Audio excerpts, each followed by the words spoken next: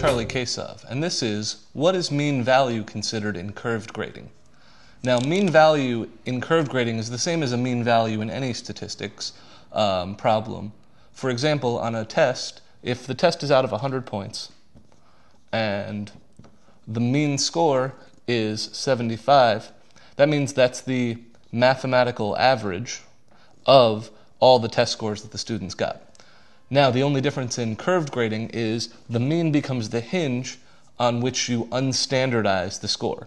So the mean here is 75 in standard, um, and then you would basically add the standard deviation times the z to this to figure out your lowest possible A, lowest possible B, lowest possible C, and lowest possible D grades.